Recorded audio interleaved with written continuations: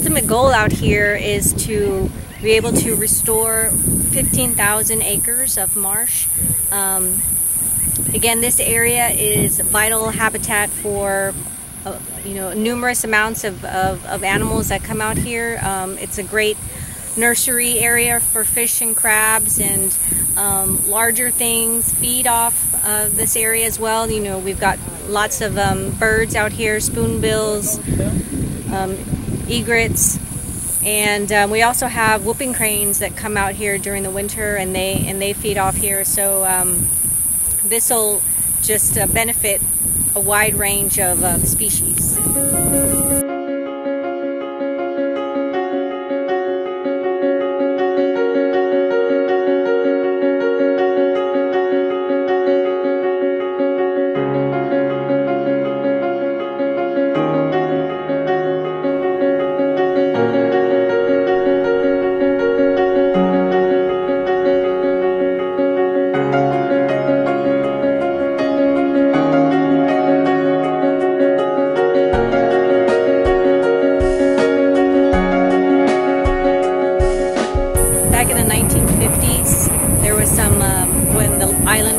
Matagorda Island was under private ownership. The um, the owner they built levees and um, some ditches just to uh, drain the island of water so it would be more suitable for cattle grazing.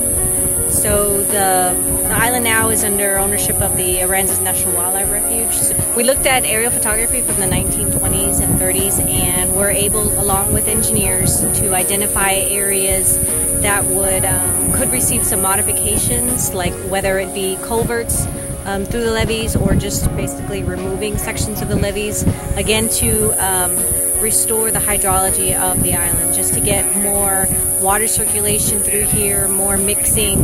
Um, this whole area, um, this marsh area, is very um, important. It's a critical habitat.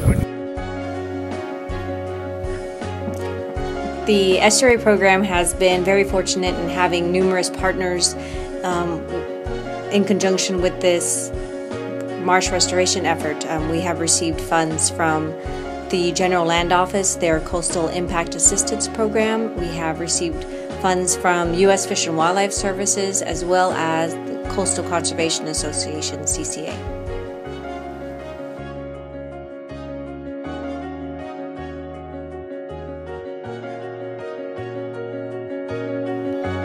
Without the collaboration of all these funding partners, the estuary program would not have been able to do this project on our own.